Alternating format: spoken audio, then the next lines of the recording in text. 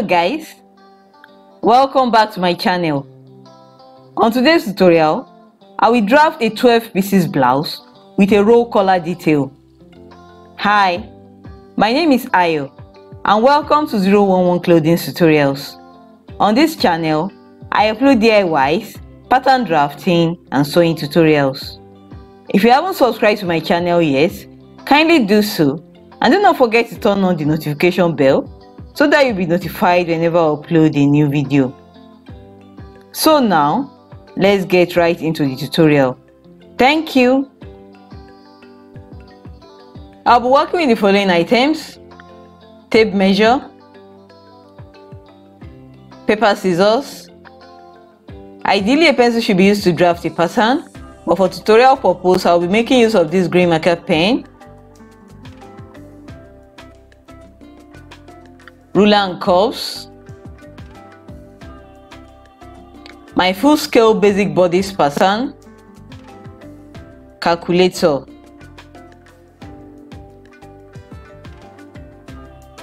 So I have here my full scale basic bodice pattern. The tutorial for this will be above and in the description box below. To begin the alteration of this basic bodice pattern, the first thing I will do is to add a 1 inch zip allowance to the center front of the basic bodice pattern. So I'll go ahead and do that now. Note that I've already joined additional pattern paper to the upper part of the pattern paper and also to the center front of the pattern of the front pattern. This will give me enough room to construct the roll or shawl collar later on. Now I'll be focusing my camera more on the front pattern. It is time to construct the roll collar. I will measure 1 inch upwards from the armhole line. This will be the break point for the roll collar. From this point, I will draw a, a slanted line that will touch the base of the front neckline curve. Like this. This is the crease line. I will now extend the break point to the zip allowance like this.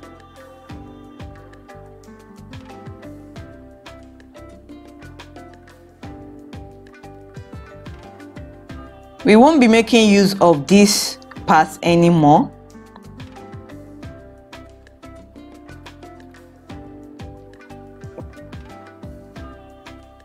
From the break point, I measure how wide I want the base of the roll collar to be.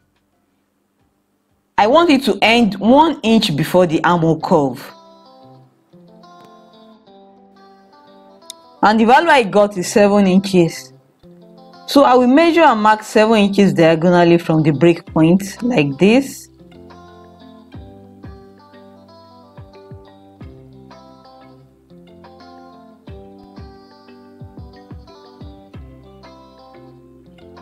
I will square out the line like this should be a slanted line.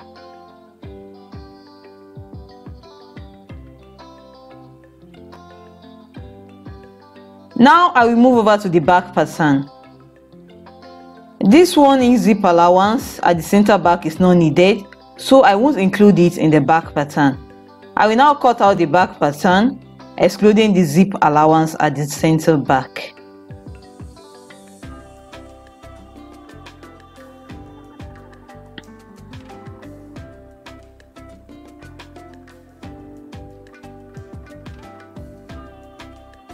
So this is the back pattern which I've already cut out.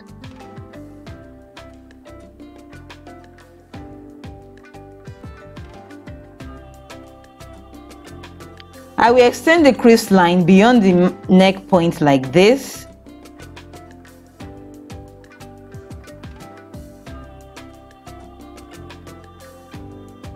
Now, I will go ahead and pin the back pattern on top of the front bodice making sure that the neck points touch each other.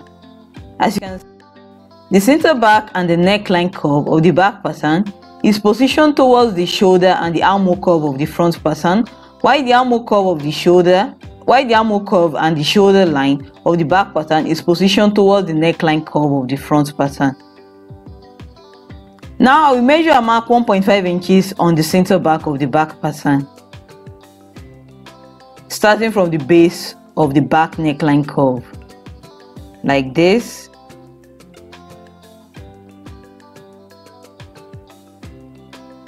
I will now match up the neck points of the front and the back patterns like this.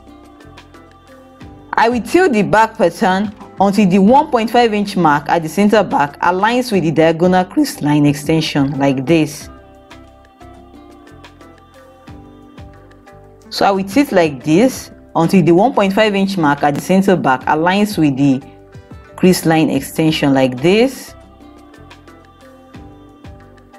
I will now pin in place. I will pin the back pattern in place.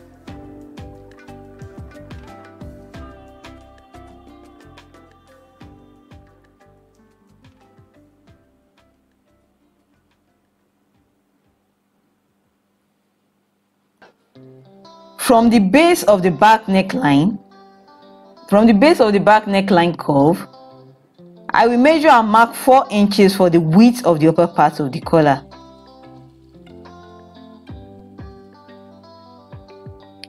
I will now connect it to the lower part of the collar like this.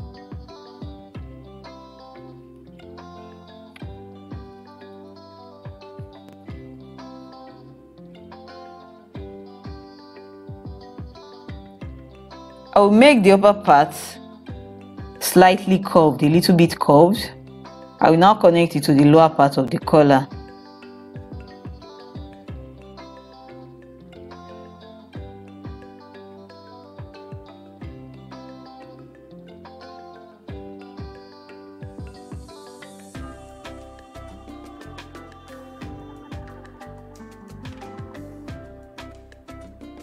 I will now trace out the outer edges of the collar like this with my marker pen.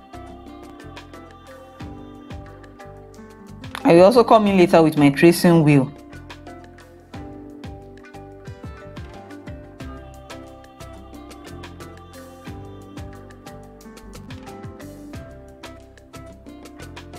So this is the tracing wheel. I will now use it to trace out the shape of the collar like this.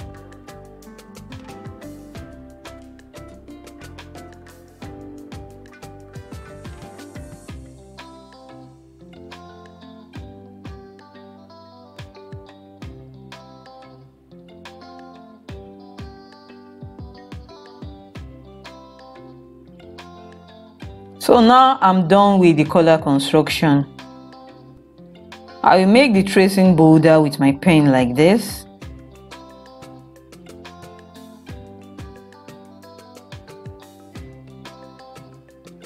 So now it is time to do the underbust tightening and the construction of the princess dart line.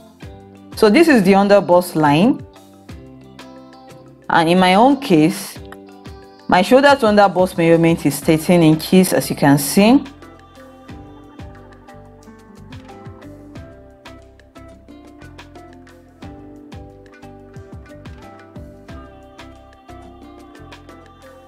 My around bust measurement is 34 inches. So I will divide 34 inches by 4 and this is 8.5 inches. So on the underbust line, starting from the center front, I will measure and mark 8.5 inches like this.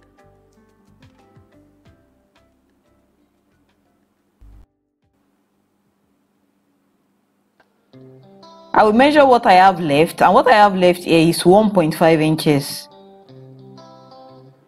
So on this side, close to the center front, I will measure and mark half an inch from the dart leg.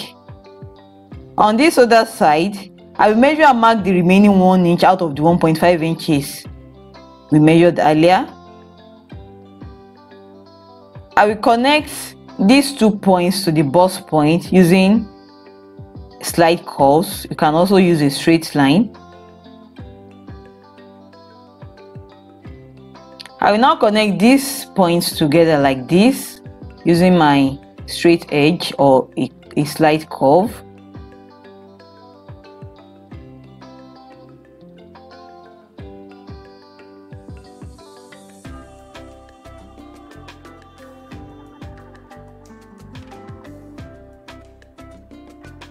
From the tip of the shoulder, I will measure and mark 4 inches.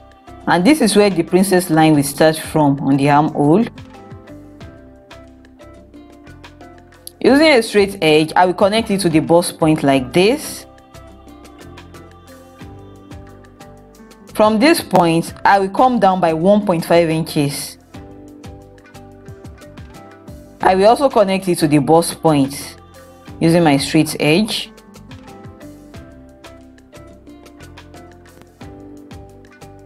From this point, I will measure and mark 1.5 inches extension from the armhole, which is the same amount that I came down with. I will now redraw the lower part of the armhole curve using my French curve like this.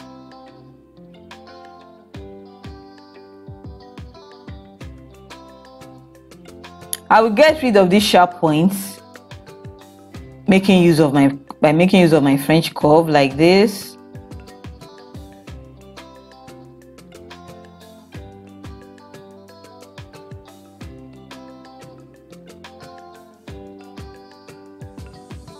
I will now go ahead and cut out the front pattern pieces.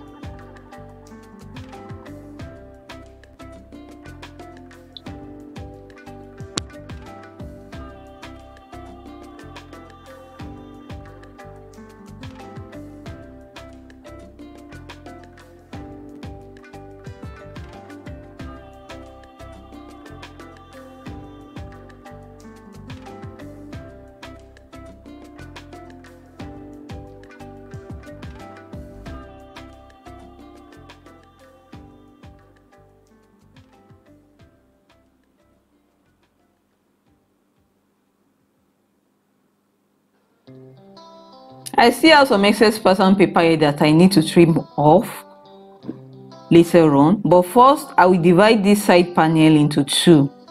Remember that we are making a 12 pieces blouse. So I will divide it into two like this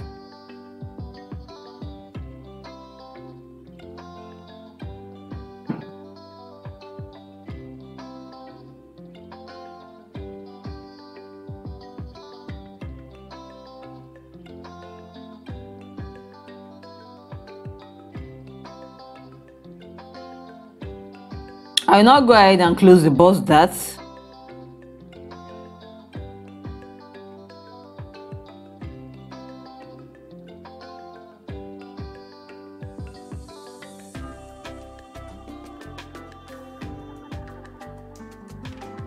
Now I can now trim off the excess pattern paper.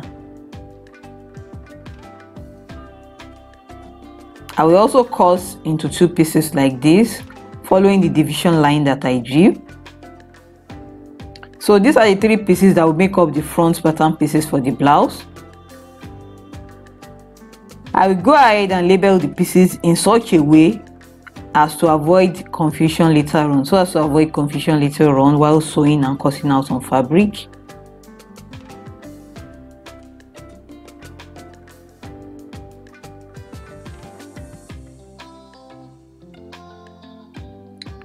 This is the back bodice pattern for the back and from the shoulder tip. I will measure and mark 4 inches on the armhole curve like this.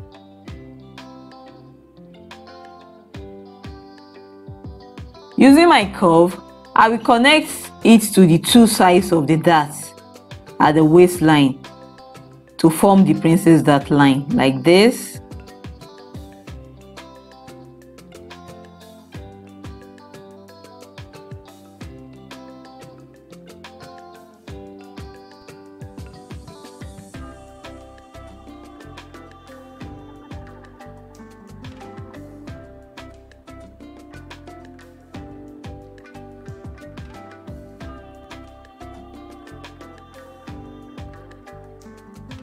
I will now go ahead and cut out the princess dart style line like this.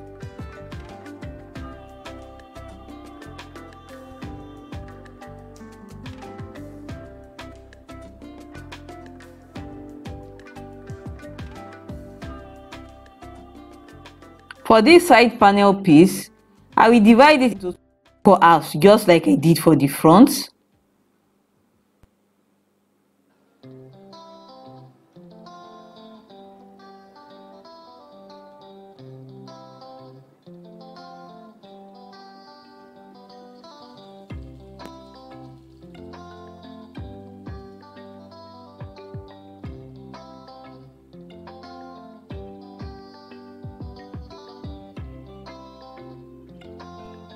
I will now cut it out like this. So these three pieces are for the back. I will also label the pieces just like I did for the front so as to avoid confusion later on. So now it is time to add the necessary fullness to the lower part of the blouse. So I have pinned the front pattern pieces on this brown paper. I will add 2.5 inches to the hem on this side and I will connect it to the waistline with a straight edge. I will do this for all the pattern pieces on both sides except for the center front piece. I won't be adding any fullness to the center front of the blouse. You can also curve the hem by half an inch if you want I will secure the pieces in place with a cello tape.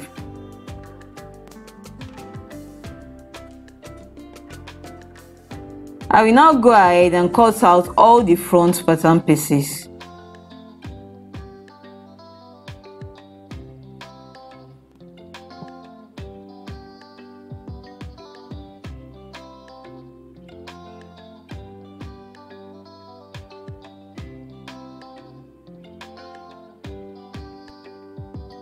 So these are the back pattern pieces. I will also do the same thing for the back pattern pieces. I will add 2.5 inches fullness at the end of the pattern pieces on both sides but i won't add any fullness to the center back of the back piece. You can also curve the end by half an inch if you want.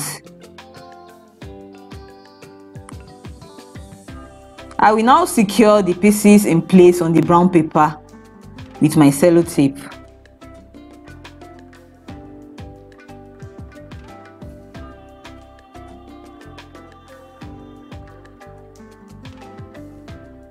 Then I will cut out the three pieces.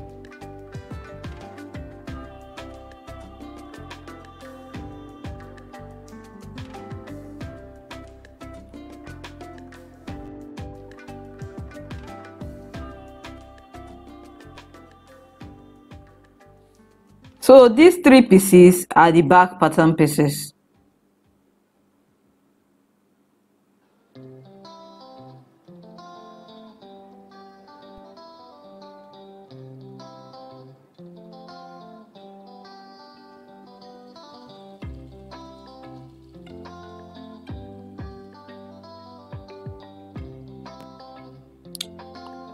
So I want to make an adjustment to the shape of the roll collar at the lower part.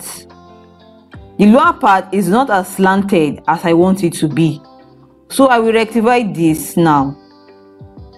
I will make it more slanted. I make the slant more steep like this.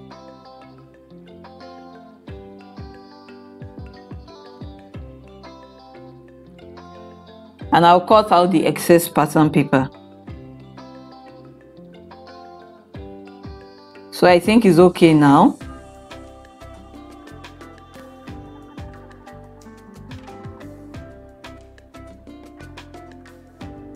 So these three pieces are the front pattern pieces as you can see. I did not add any fullness to the center front of the center front piece. I only added fullness to just one side of the center front piece.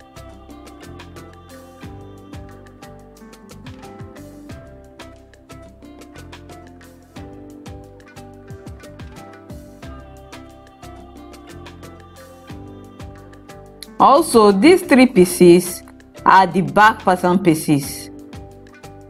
I also did not add any fullness to the center back of the center back piece. I only added fullness to just one side of the center back piece.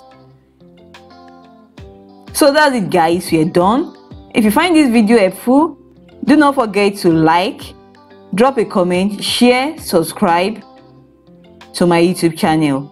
See you in my next tutorial. Bye and thank you so much for watching.